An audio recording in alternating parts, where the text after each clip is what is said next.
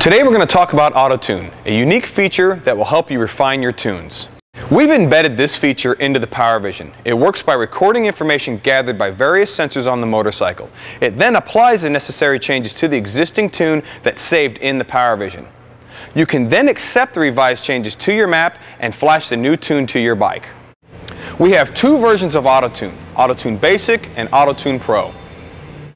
AutoTune Basic utilizes the factory narrowband oxygen sensors that are already installed on the motorcycle, which means you don't have to purchase any additional hardware.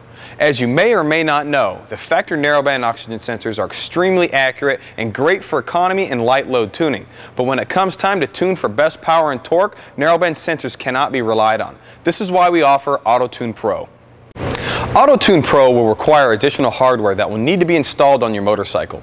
This hardware will include two wideband oxygen sensors for front and rear cylinders and a control module that will plug into your PowerVision.